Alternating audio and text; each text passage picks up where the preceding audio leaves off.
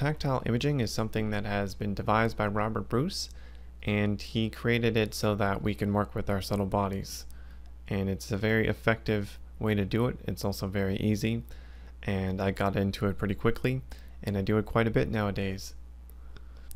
So this is going to be a solution to a lot of people's problems with blockages or they're having a hard time getting out of body. You can use this to fix those problems. Those are usually the problems that I get messaged with.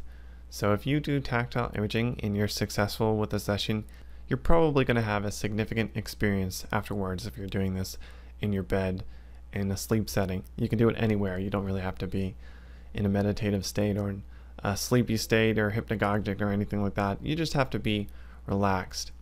So you need to use your imagination to induce a sensation of touch, and this sensation of touch will um, create energy movements in your subtle body. And after a while, it'll become pretty abstract. You won't need to look at the individual parts that you're working on. You won't need to imagine a paintbrush or a hand. It's just going to feel like awareness or warmth that's moving around in your body. That's how you're going to um, move energies around. And I do this a lot. Initially, it's just muscles relaxing for me because I'm, I'm at my computer so much. And after the muscles have been relaxed, I can get on with um, moving energies around. So I get these weird twitches that occur or releases that indicate that my muscles were like partially contracted and they just release and then after that's done, I get blood flow and I can actually feel energy sensations in that area. So you're not going to feel the sensations right away if you have, you know, messed up muscles that are always tense. So this is how I got into tactile imaging. I tried his system. He has a systematic usage of tactile imaging, which is called New Energy Ways V2. It's a free document and system that you can view for yourself on the internet. I'll link it in the description. And uh, I tried that system. It didn't work out too well for me. It wasn't any more effective than me just playing around with tactile imaging on my own. But I suggest trying his system before you uh, try your own things. So this is what I've done. I did the by the book part where you touch something like the palm of your hand and you memorize the sensation. So you're going to physically touch your hand and you memorize the sensation and then you relax and try to imagine the sensation until it's very realistic. And then you're going to drag that sensation around and you're going to be able to induce these imaginary sensations everywhere and it's going to help drag energies around and manipulate your subtle energy body. And I've had a lot of profound experiences from doing this a lot of my more crazy experiences are from doing this practice and it just like increases your ESP and your general health because it's it's doing things that aren't even related to uh, subtle energies are not directly related like relaxing your muscles increasing blood flow um, making you aware of deficiencies in your physical body because you're just drawing awareness around it pinpointing awareness at different points. So again I started by that hand practice and I of course tried a system.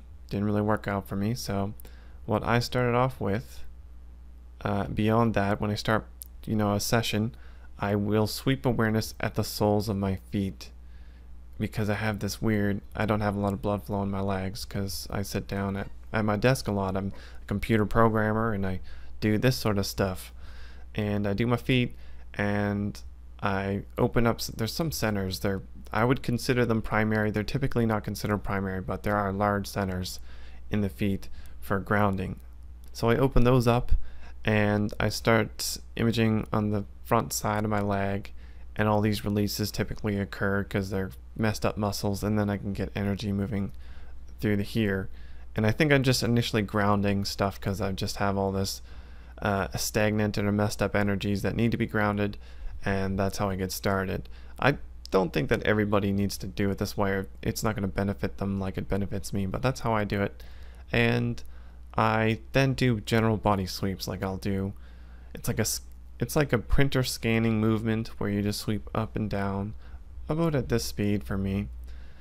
And I find the most deficient area of my body and work on that. So if I find very specific areas in my legs or areas up here, then I'll focus on that and I'll relax those muscles or work on the blockages. Initially, it's just me relaxing muscles, and then I'll get over to the blockages and I'll uh, clear some blockages. And uh, it does have some very profound sensations that come with it. You like feel these weird surges of energy going around if you uh, start to get proficient with this practice. When you feel sensations, it's like there's a bunch of layers of skin, like your entire body consists of layers of skin, and you're inducing tactile sensations on these layers. That's what it feels like, at least for me, when energy moves through my body profoundly, like a surge. So, to recap, my session starts with grounding my feet here, or opening up the grounders, and I know, I always know that there's some muscle tension in the legs here, so I always work the legs out.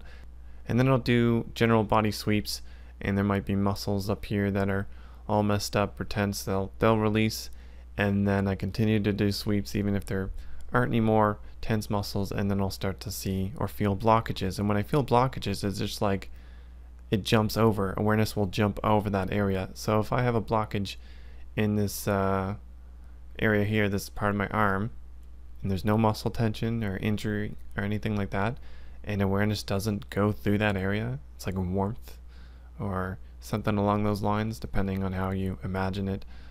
And if it jumps over that area, then there's likely a blockage. And I'll just move energies through here to here. I'll continue to do that, and eventually I'll start feeling it going through this area.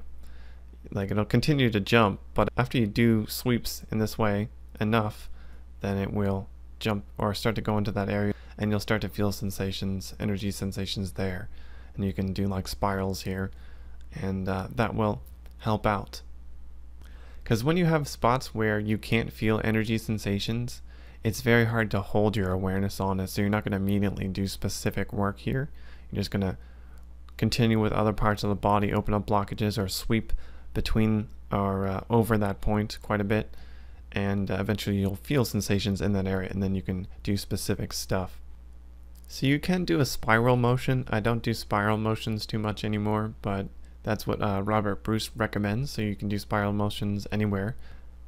The places that I spiral when I do it is either on my hands, the soles of my feet, or somewhere on my head. You can actually work directly on your head right away and have some like really crazy effects. Robert Bruce advises against this because you're not going to have your your body's not going to be, or your, the rest of your subtle body is not going to be prepared for the energy sensations that you induce up here, or something along those lines. It does, it does really create a crazy effect if you really just do spirals up here and induce all this energy movement in your head. Like uh, I did it once, just as an experiment, because I like to experience random things, even if they're potentially disturbing. And uh, I, it felt like I got flashbanged, just without the noise. So Robert Bruce is probably right. You want to work the entire body uh, in general before you do any, any specific work here up in the head. So a lot of times when I do this practice, I would get out of body or I would see my subtle body or I'd see parts of my subtle body and it would be like correcting itself. I would also see subtle energies around me like orbs and stuff even well after I got up. There was one time that I did tactile imaging and I started to get out of body as I was trying to get up out of bed. Like I had to lay back down because I was like continuously decoupling from the body. I would get out and I would look at myself trying to get up out of bed and then I would like go back into my body so I can actually get up. I don't know what I was doing to actually want to get up when that was happening, but I really felt the need to get out of bed. So I hope this helps. See you next time.